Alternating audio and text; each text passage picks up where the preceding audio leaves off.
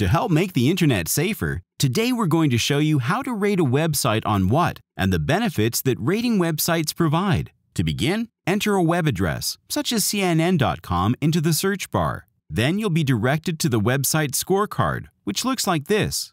Select the amount of stars you want to give that particular website from your own experience using it. Then, add a comment. The more detailed the comment, the better, as you'll be helping millions of people know how secure a site is before they visit it. Make sure you let the WOT community know about your own personal experience in your comment. And if you forgot to mention something, you can always go back and edit or delete your comment later.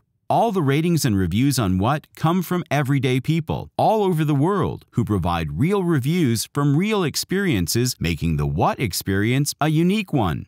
You can also rate a website on the WOT extension by searching for the site and clicking on the WOT icon to add your own review and see other user comments.